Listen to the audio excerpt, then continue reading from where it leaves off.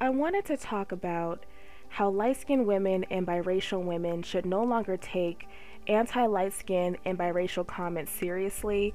I know that the main people that are being attacked with this whole colorism trending topic argument is light skinned women.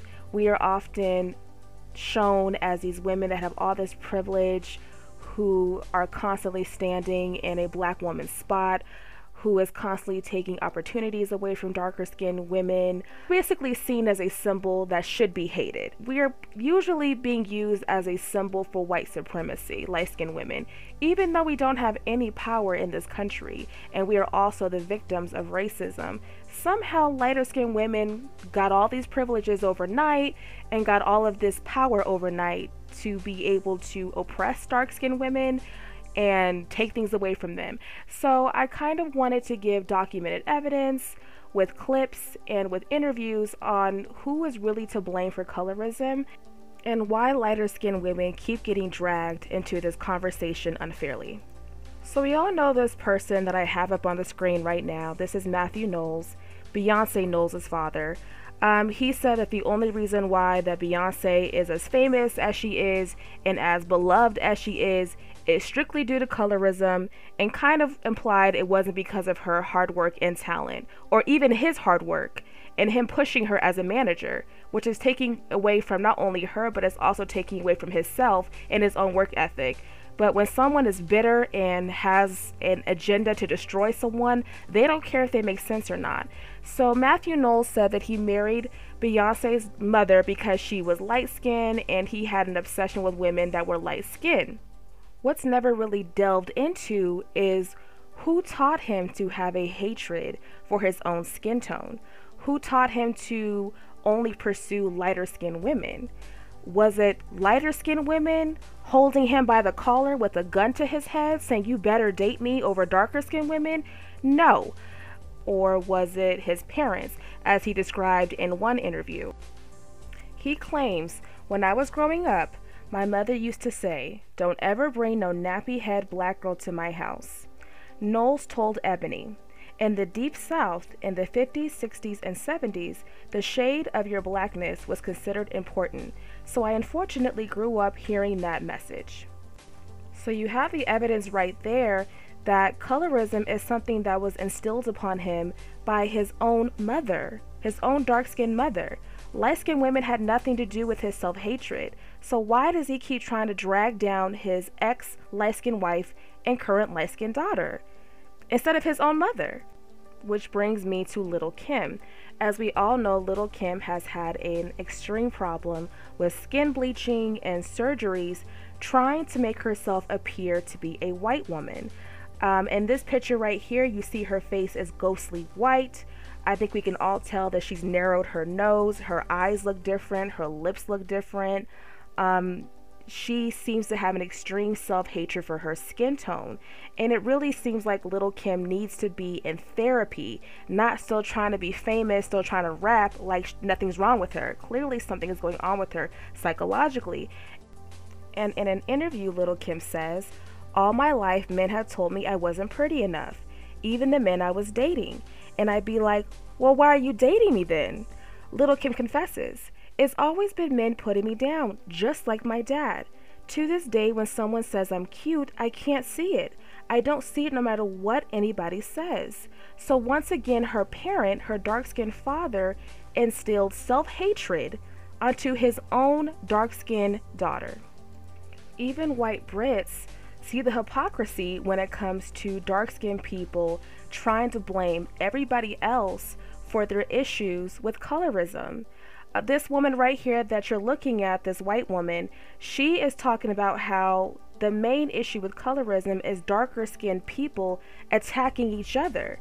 And yet they keep wanting to blame outside sources like white people, like light skinned people, when the main issue is just them and their own mentality. And here's this woman here who agrees with the woman, yet yet instead of acknowledging that this woman makes a good point, she instead immediately has a knee jerk reaction to argue with this white British woman and tell her that she's wrong, and then reiterates the exact same point this white British woman is saying in her language.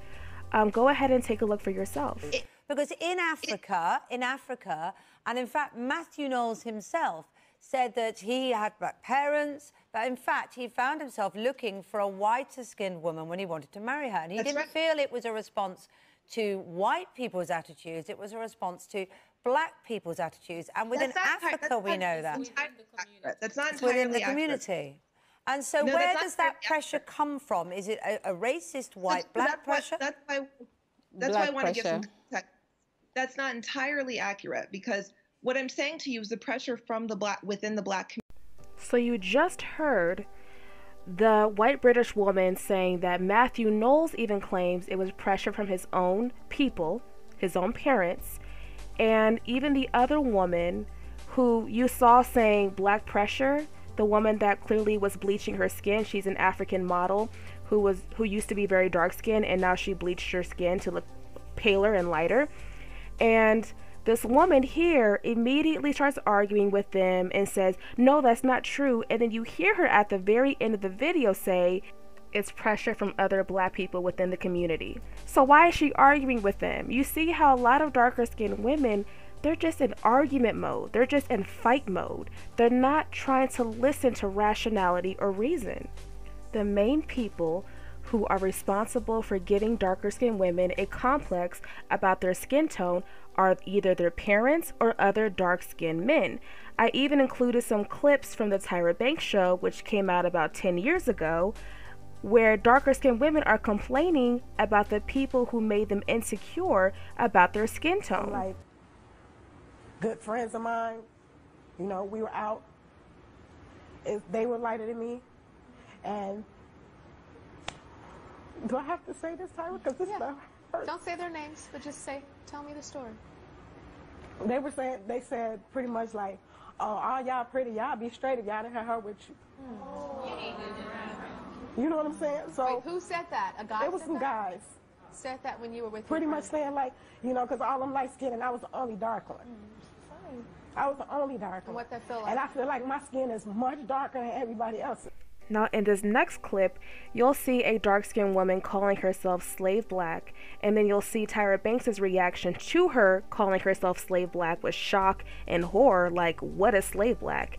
And I know that when lighter skinned women act like that, a lot of dark skinned women like to claim that we're gaslighting and we're pretending not to know certain terms when our parents did not raise us to think of ourselves like this. So somehow we can all kind of assume someone raised this poor dark skinned girl to call herself slave black. Oh, I'm slave black. That's it. That means I'm dark. What is slave black? That means that I'm really dark skinned. There's no other way. All the bad stuff associated with black. I have people, been black for 34 years. I have never heard slave black. you know, like sometimes you can pass maybe for mixed or maybe white. That when you're slave black, you can't pass for anything what, other than black. Did you make this up?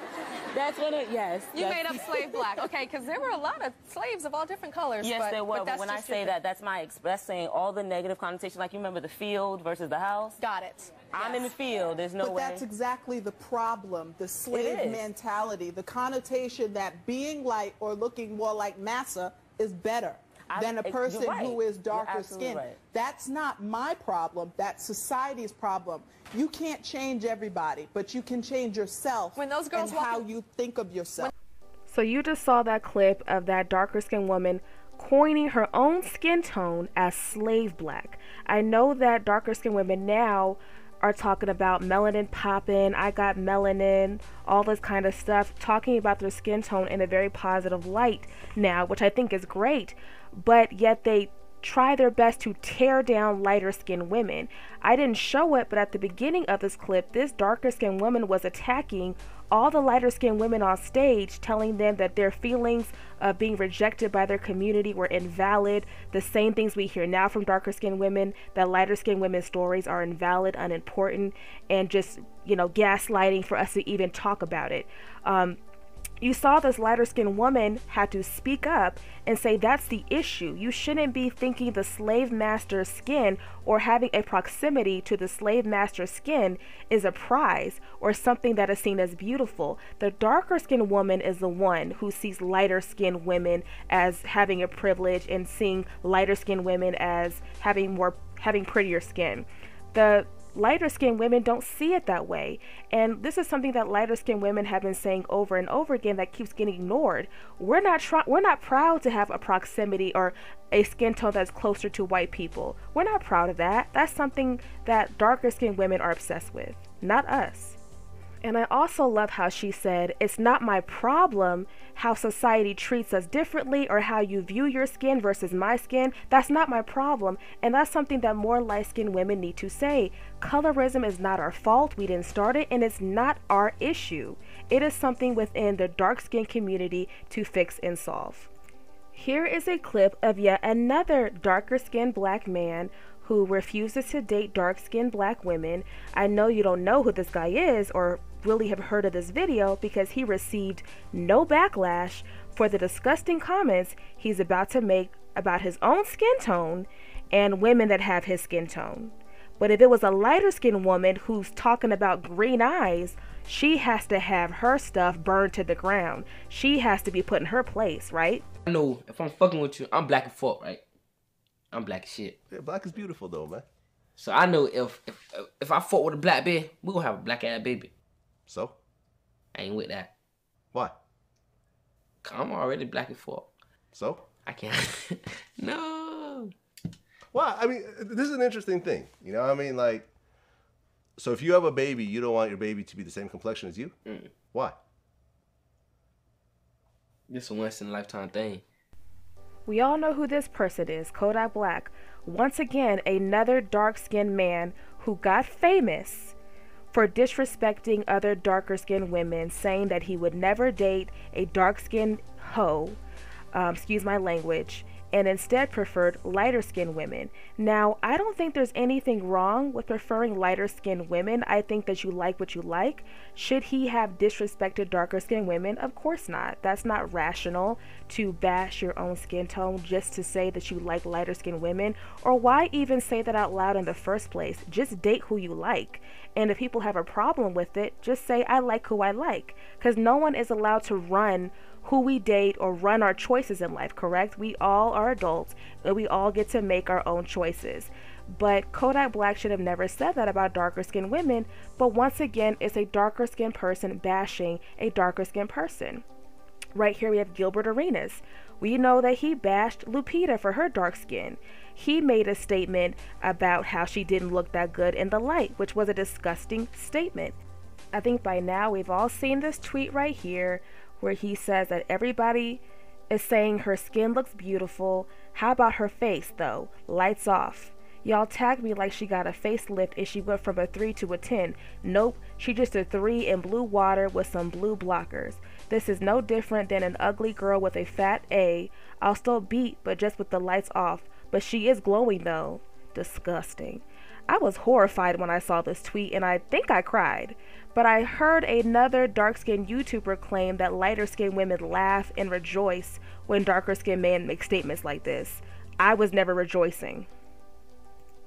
I remember somehow lighter skinned women got blamed for this, and this is when darker skinned women started making videos talking about how ugly light skinned girls are and that we don't deserve the praise that we get from darker skinned men and all this kind of junk. And I'm thinking, it's clear that colorism has deeply hurt and affected a lot of darker skinned women, but it also has affected lighter skinned women as well. But this isn't about how colorism has affected lighter skinned people. This video is specifically about darker skinned people and where they learn to hate their own skin, where they learn to say such nasty and horrible things about their female counterparts. Why is it always about bashing? Why is it always about humiliating each other based off of the skin tone that you all share? And women and dark skinned women are not innocent because, as you heard, Matthew Knowles said it was his dark skinned mother that made him hate his own skin and gave him a skin tone complex. And he tries to turn around and blame his light skinned wife somehow because he only married her because she was light, like it's her fault that he chose her. So leave lighter skinned people out of this. This is clearly something that darker skinned people need to do amongst each other.